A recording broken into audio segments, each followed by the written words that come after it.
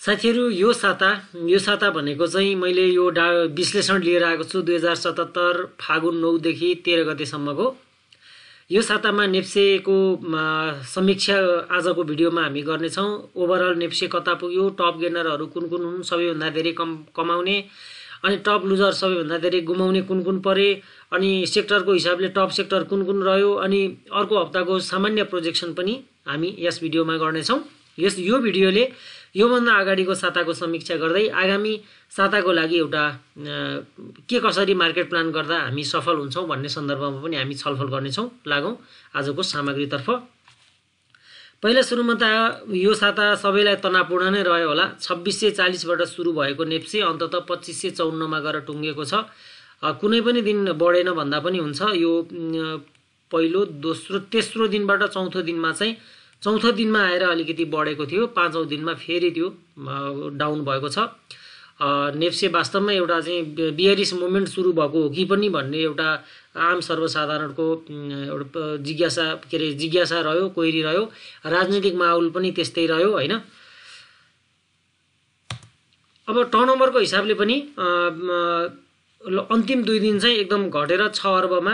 आठ अर्ब त्रियासी करोडबाट सु यो सुरु भएको थियो सन्डे। त्यसपछि छ अर्बमा गएर टुङ्गिएको छ। टर्नओभर पनि क्रमशः डाउन भयो।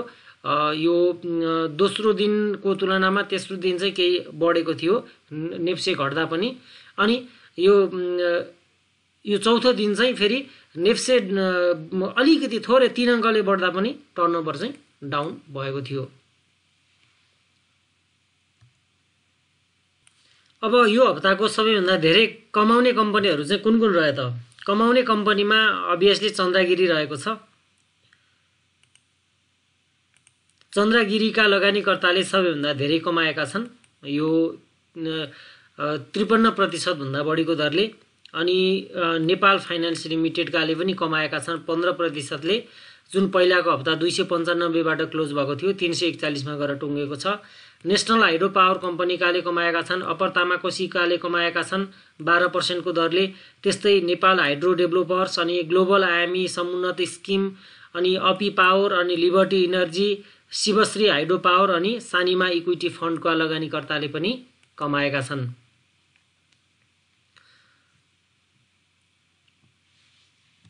अभियसली निफ्राको बारेमा सोचिराख्नु भएको होला। पहिलो तिन दिन बढेको थियो दोस्रो तिन दिन चाहिँ यो दोस्रो दुई दिन यो एकदम डाउन भएको थियो।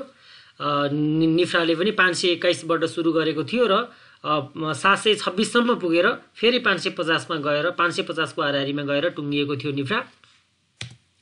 अब टप लुजर्सहरू चाहिँ कुन कुन हुन् त? यो हप्ता कुन कसले गुमायो भन्ने सन्दर्भमा लाइफ इन्सुरेन्स कम्पनी नेपालकाले सबैभन्दा धेरै गुमाएका छन्। माइनस अठार पर्सेन्ट निर्धन उत्थान लघुवित्त वित्तीय संस्थाकाले गुमाएका छन् माइनस बाह्र प्रतिशत। त्यस्तै कर्पोरेट डेभलपमेन्ट ब्याङ्कका लगानीकर्ताले गुमाएका छन् माइनस दस प्रतिशत। सनराइज ब्याङ्कले पनि गुमाएको छ। सारथी नेपाल लघु वित्त वित्तीय संस्थाका लगानीकर्ताले गुमाएका छन् माइनस नौ प्रतिशतका दरले। श्री इन्भेस्टमेन्ट फाइनेन्स अनि नेरुडे लघु वित्त विकास अनि त्यसपछि गुडविल फाइनेन्स इन्फिनिटी लघु वित्त अनि मेगा ब्याङ्ककाले पनि यो हप्ता गुमाएका छन्। अब विकली पर्फर्मेन्सको आधारमा भन्ने हो भने ब्याङ्किङ सेक्टर पनि कुनै पनि समूहले माथि उकालो लाग्न सकेनन्। हाइड्रो पावरकोले चाहिँ यो पटक उकालो लाग्यो। अरू सबै घटे हाइड्रो पावरले चाहिँ यो हप्ता प्रगति गर्यो। बाँकी सबैको घुम्यो र सबैभन्दा धेरै पर्सेन्टेजको हिसाबले घुम्नेमा यहाँ तपाईँ देख्न सक्नुहुन्छ। फोर पर्सेन्टको दरले गुमाउनेहरू ब्याङ्किङ सेक्टर रहेको छ। अनि त्यसपछि यो ब्याङ्किङ सेक्टरले फोर पर्सेन्ट गुमाउनु भनेको झन्डै झन्डै सेभ सिक्सटी पर्सेन्ट लगानीकर्ताले गुमाउनु हो। त्यस्तै development ब्याङ्ककाले minus three point four six अनि अर्को लाइफ इन्सुरेन्सकाले पनि फोर पर्सेन्टको दरले गुमाएका छन् है।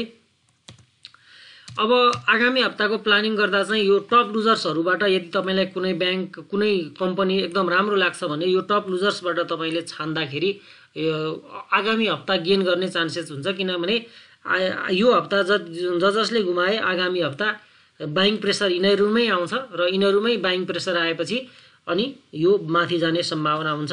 जस्तै म देखिराखेको छु यहाँ गुडविल फाइनेन्स मेरो लिस्टमा रहेको नेरुडे लघुवित्त मेरो लिस्टमा रहेको छ। अन्य भनेको चाहिँ मैले अब यो मार्केट ओभरअल ट्रेन्ड कहाँ जान्छ भन्ने सन्दर्भमा त्यो ग्राफ हेरेर मात्रै निर्णय लिनेछु। यहाँहरूलाई पनि मेरो सुझाव यो टप लुजर्सहरू जुन छ विकको त्योबाट केही हदसम्म तपाईँले राम्रा कम्पनी छान्नुभयो भने लगानीको लागि नराम्रो नहोला भन्ने मेरो एउटा विश्लेषण छ र आफ्नो तरिकाले विश्लेषण गरेर आफ्नो रिक्समा सबै तपाईँले कारोबार गर्नुहोला।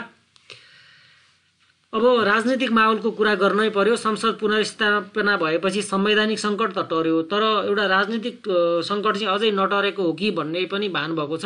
त्यस कारणले गर्दाखेरि यो राजनीतिक सङ्कट कुन मोड लिन्छ म जहिले पनि यो पुस पाँच गतेलाई सम्झिन्छु कि जब बिहान नौ बजे मन्त्री परिषदले एउटा संसद विघटनको सिफारिस गर्यो त्यो दिन आत्तिएर सबै लगानीकर्ता बेच्नुले बेच्न खोज्नुभयो। भोलिपल्ट आखिर केही पनि भएन।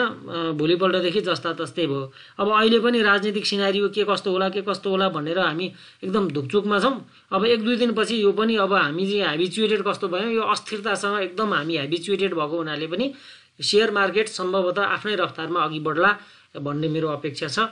र मेरो ठम्ब्याइमा आगामी हप्ता नेप्सेले केही हाइट नै लिन्छ जस्तो लाग्छ मलाई।